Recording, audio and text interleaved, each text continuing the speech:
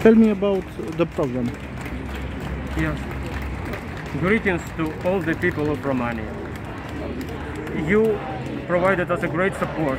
You you showed us uh, mercy and warm welcome to all the refugees who, who came here today and yesterday. Um, I want to tell you that um, um, everyone can uh, contribute to saving the lives of our defenders.